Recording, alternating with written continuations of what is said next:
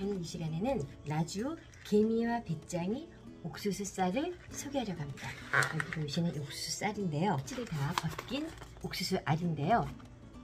전라남도 나주에서 자란 100% 국산 찰 옥수수입니다. 옥수수 알 같은 경우에는 잡곡이잖아요. 그래서 이제 밥에다 넣어 드셔도 되고 여러 가지 요리에 활용하실 수가 있는데요. 어, 먼저 제가 이 개미와 배짱이 브랜드에 대해서 잠깐만 소개를 해드릴게요.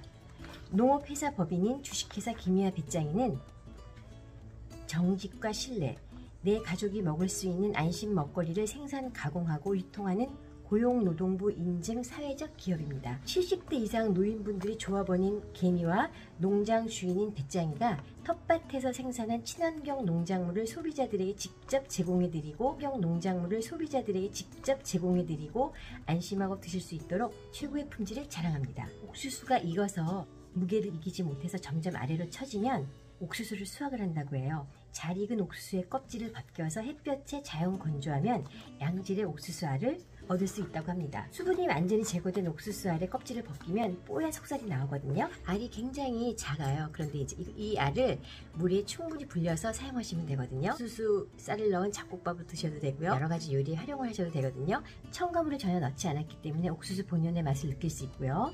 방부제 처리를 하지 않아서 벌레가 생길 수 있으니까 개봉 후에 지퍼를 닫고 보관해 두시면 됩니다.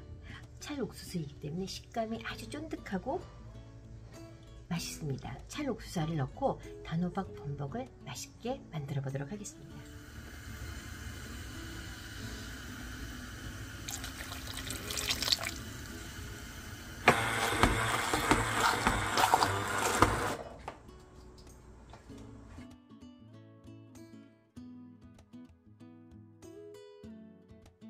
단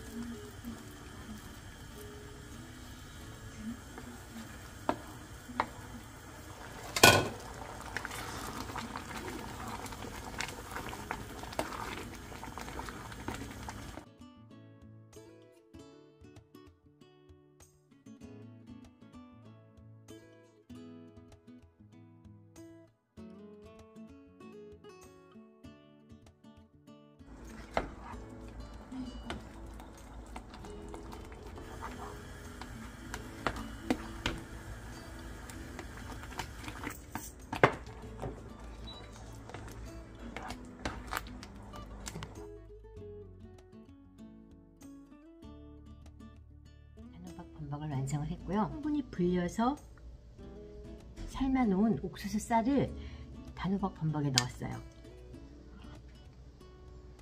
음.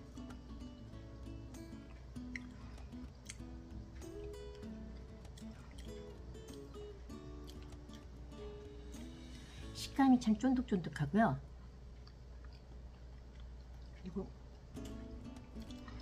옥수수쌀 자체가 근기가 있잖아요. 그래서 뭐 이게 한 그릇만으로도 충분히 식사가 될 수 있을 것 같아요.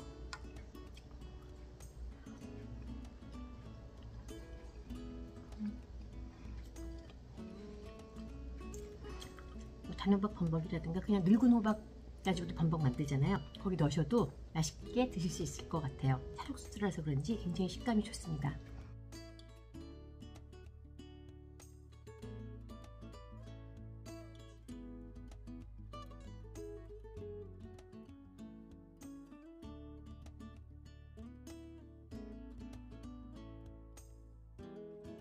개미와 배짱이 옥수수쌀로 만든 호박범벅 맛있게 잘 먹었습니다.